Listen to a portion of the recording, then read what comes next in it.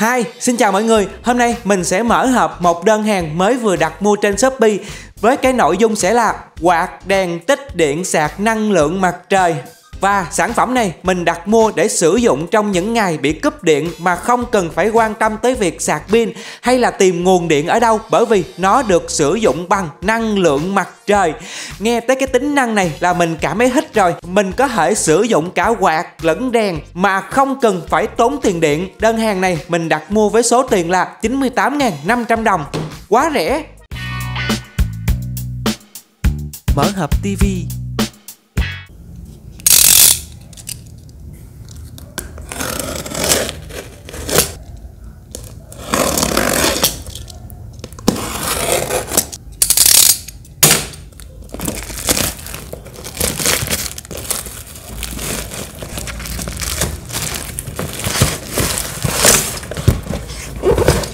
Solar Light Fan quạt đèn năng lượng mặt trời ở đây sẽ có rất nhiều những cái tính năng nổi bật của nó Hai bên hông hộp sẽ là phần mô tả về sản phẩm.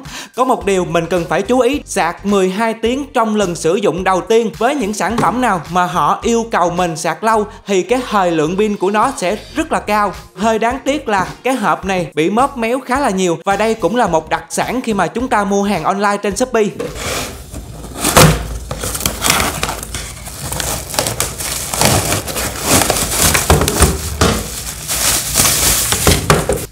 Ở đằng sau thì mình sẽ có một cái tay cầm để xách đi, cũng rất là tiện. Ở dưới này sẽ có thêm hai cái chân. Đó, mình có thể dựng nó lên bàn làm việc nè. Rất là nhiều những cái chức năng ở trên cái quạt này. Nhưng mà hãy khoan nói tới những cái chức năng này. Mình muốn cho các bạn xem một cái tính năng ăn tiền nhất, đó chính là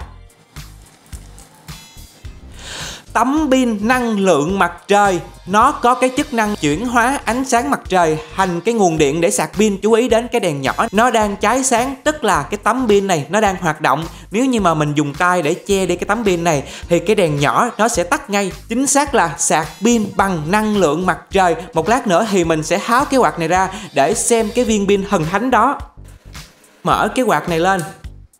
Đó nó có thể hoạt động liên tục bằng ánh sáng mặt trời ở trong phòng vào ban đêm khi mà không còn ánh sáng mặt trời nữa thì chúng ta vẫn có thể sử dụng bằng nguồn điện đã được tích trữ vào bên trong cái viên pin. Với cái tính năng đặc biệt này thì chúng ta có thể để cái quạt nơi có ánh sáng mặt trời cũng không cần phải đem nó ra phơi nắng đâu, chỉ cần để nó ở gần cửa sổ, xoay cái tấm pin này ra bên ngoài để cho nó nạp đầy điện thì buổi tối mình sẽ có đủ năng lượng và đến sáng hôm sau khi mà sử dụng hết pin rồi thì chúng ta lại đem nó để gần nơi cửa sổ và mình có thể sử dụng mãi mãi mà không cần phải quan tâm tới việc là sạc pin Tuy nhiên nguồn năng lượng mặt trời thì nó sẽ có một cái điểm yếu trong những ngày trời âm u hay là vào buổi chiều thì lấy ánh sáng đâu mà sạc pin. Chính vì vậy người ta còn trang bị cho mình thêm một cái sợi dây sạc điện 220. Đây mình chỉ cần cắm cái sợi dây này vào bên trong, cắm vào ổ điện 220 sẽ được sạc pin rất là an tâm khi mà sử dụng.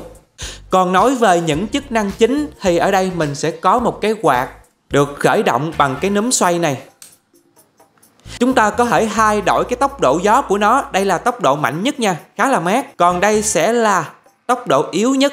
Đấy, chỉ hơi hơi mát thôi. Ngoài ra, mình còn có thể thay đổi cái hướng gió của cái quạt này Bằng việc điều khiển cái lồng quạt này. Đây, cho gió nó hướng lên nè. Còn đây sẽ là gió nó hướng xuống. Có thêm một cái đèn pin chiếu xa nữa. Đây này. Wow, khá là sáng luôn nếu mà sử dụng vào ban đêm thì nó có thể chiếu xa được hơn 10 mét. Sử dụng trong phòng hay là sách ra ngoài đường để soi sáng đường đi Hay là mình đi bắt ăn trộm cũng được nữa. Tiếp theo ấn tượng nhất sẽ là cái dàn đèn led với 30 bóng Tới 30 bóng lận đó nha. Đây này. Đó và mình có thể thay đổi được góc độ của cái đèn này nữa. Rồi tắt đèn. Đây, cho các bạn xem ánh sáng của dàn đèn led. Mình chỉ cần để nó lên bàn làm việc là ánh sáng của nó sẽ tỏ ra khắp căn phòng của mình. Đó, nhìn thấy rõ mọi đồ vật ở trên bàn luôn nè. Không cần phải quan tâm tới việc cúp điện nữa bởi vì ánh sáng của cái đèn này quá sáng luôn. Đó quá đã. Như vậy là bẻ xuống. Đây mình có thể dùng để đọc sách hay là đọc truyện ở trong bóng tối. Rất là rõ nha nhìn thấy khá là rõ theo như phần mô tả của sản phẩm để mình đọc cho các bạn xem. Thì cái đèn này, khi mà được sạc pin, nó sẽ được sử dụng liên tục trong vòng là 6 tiếng. Còn cái đèn bên hông này thì sẽ sử dụng liên tục trong vòng 8 tiếng và cái quạt này sử dụng liên tục trong vòng 4 tiếng. Ok, mình sẽ test thử cái đèn bên hông này cho các bạn xem luôn. Đó quá sáng luôn, có thể tìm thấy được mọi đồ vật ở trong phòng. Cái ánh sáng của nó chiếu xa tới 10 mét lẫn nha các bạn. Quá tuyệt vời, chỉ với vài chục ngàn thôi, mình đã mua được một cái quạt có đèn để sử dụng vào ban đêm khi mà cúp điện. Thêm một cái tính năng đặc biệt là sạc pin bằng năng lượng mặt trời, cũng khá là đáng để mua. Ok, và bây giờ mình sẽ háo cái quạt này ra để xem viên pin ở trong cái quạt này nó sẽ như thế nào. Chúng ta phải cần có một viên pin to và nặng, thì cái dung lượng pin của cái quạt này mới sử dụng được lâu.